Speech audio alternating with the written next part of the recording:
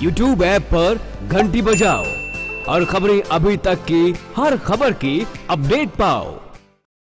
लोकसभा चुनाव 2019 के लिए समाजवादी पार्टी ने अपने छह उम्मीदवारों की पहली लिस्ट जारी कर दी है।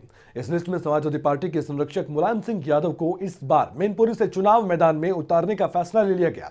ये भी आपको बता दें कि कल ही कांग्रेस ने यूपी में 11 प्रत्याशियों की पहली सूची जारी की थी और वहीं पार्टी की संसदीय समिति के अध्यक्ष रामगोपाल यादव ने जानकारी देते हुए बताया कि पार्टी ने लोकसभा चुनाव के लिए पहले छह उम्मीदवारों के नाम फाइनल कर दिए हैं। पार्टी ने समाजवादी पार्टी के पूर्व अध्यक्ष और आजमगढ़ के सांसद मुलायम सिंह यादव को इस बार मैनपुरी से ही लोकसभा का चुनाव लड़ाने का फैसला किया।